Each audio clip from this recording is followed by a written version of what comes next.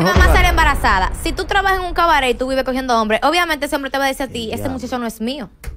¿Sí o qué? Sí, sí, sí, claro. Si usted anda desafinando, le van a negar el muchacho. Él todo su derecho. Entonces, él intentó tranquilizarla a ella, ella no quiso y él la dejó tranquila. Oh. Bueno, señores, rieguen todo. Ahora sí fue verdad que esto se jodió, gente. Óyeme, esto es insólito, señores. Vamos a ver, vamos a ver aquí cómo Mami King, señores, sorprende al mundo una vez más, donde ella cuenta cómo fue que su padre conoce a su madre, señores. Con estas confesiones, Mami King sigue, señores, hundiendo aún más a Doña Wanda. Sigue haciéndole daño a Wanda, de cierta forma, ¿no? Ella cuenta de que su madre, su madre conoció a su padre trabajando ella eh, en un burdel. Increíble, Dios mío. vamos a escuchar esta, historia de Mami King, que es una joven transparente. Ella dice todo, sin importar si le, le, conviene o no, ¿eh? si le favorece o no. Rieguen esto al mundo. Escuchen esto, gente. Y en Santiago. Muy bien. Ok. Muy bien. Mi mamá sale embarazada. Si tú trabajas en un cabaret y tú vives cogiendo hombres, obviamente ese hombre te va a decir a ti, este muchacho no es mío. ¿Sí o qué? Sí, sí, sí, claro. Si usted anda desafinando, le van a negar el muchacho. Él todo su derecho. Entonces, él intentó tranquilizarla a ella, ella no quiso y él la dejó tranquila. Oh. Como ella vio que él no iba a seguir forzando atrás de ella, porque ella no quería, ¿tú entiendes? Formalizar la relación ni quería nada porque él, ¿cómo te digo? Ella andaba haciendo su diligencia. Ella entendía que ella ganaba más estando en la calle que estando con él. Porque mi mamá, mi papá en ese tiempo, era un hombre humilde, vivía en una pensión, tú sabes, tenía su trabajo, pero no era de que gran cosa. Entonces, a veces, ¿cómo te digo? Ella intentando desquitarse con él, no dejándome verlo, a mí ella me creó un vacío. Yo lloraba en la escuela cuando los padres iban a buscar a sus hijos y a mí nadie me iba a buscar. Daño colateral. ¿Entiendes? Entonces, le voy a hacer un llamado a esas madres. sea, sean un ejemplo como yo. Sí. El papá de mi hija ahora mismo la tiene y yo soy que bregotó, pero él siempre ha estado ahí con ella, ¿entiendes? Sí. Aún así, él a mí, él ha tenido problemas conmigo, hemos tenido no hemos todo, y él siempre está pendiente a la niña, ¿entiendes? Tienen que dejar de querer pagar sus daños emocionales con su pareja, con los hijos, porque entonces los hijos nosotros crecemos infelices y con un vacío en el corazón que nadie lo va a poder llenar. Señores, esta es la historia, como dije, esta es la historia, esta es la historia de Mami señores.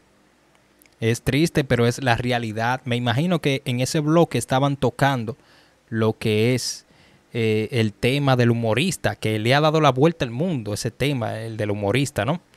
Y eh, muy lamentable ver como muchas personas eh, siguen comiéndose esa muchacha por el simple hecho de que ella no siente de corazón, señores.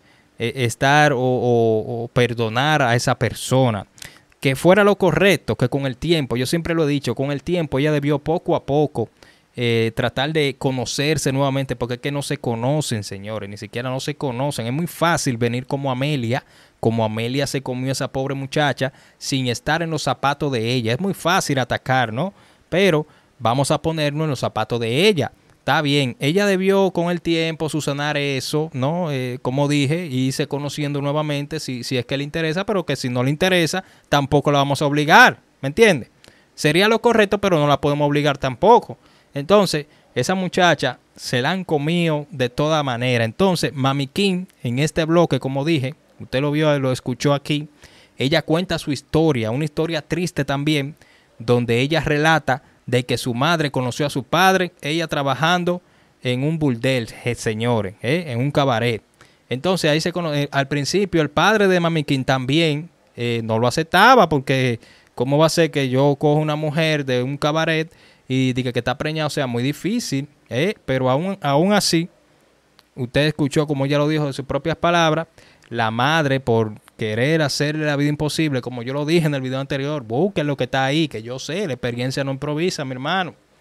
Yo sé que las mujeres, cuando los padres se comportan de esa manera, le, le meten cosas a los niños desde, pequeños, le meten cosas en la cabeza, y eso hace que los niños crezcan también con ese resentimiento hacia el padre, si el padre se aleja y abandona a la madre. Pero eh, miren cómo lo contó aquí Mami King, señores, que ella creció con ese vacío, el padre no la buscaba a la escuela, ella veía a todos los niños, a los demás, que lo buscaban los padres, menos el de ella, o sea, ella creció con eso. Pero Mami King, con el tiempo, eh, comenzó a, conocer a su padre y hoy en día llevan una bonita relación, ¿me entiendes? Que sería lo, lo, lo, lo mejor, como dije, que si, si, si esta joven que la están crucificando por esto, si ella hubiese, si- hubiese hecho lo mismo que hizo Mami King en un determinado tiempo, pues ya otra cosa, ¿tú me entiendes? Eh, hu- hubiese sucedido, ¿me entiendes? Pero no fue así, pero tampoco podemos comérnosla por eso. Si ella no lo sintió de corazón nunca, eh, no podemos tampoco hacerlo. Así que, ¿ustedes qué opinan de estas confesiones que hizo Mami sobre su madre? Reveló por primera vez cómo ella conoció a su padre, o sea, la madre de Mami Doña Wanda. Eh, es insólito, señores. Rieguen esto al mundo y nos vemos en otra próxima entrega. Cierren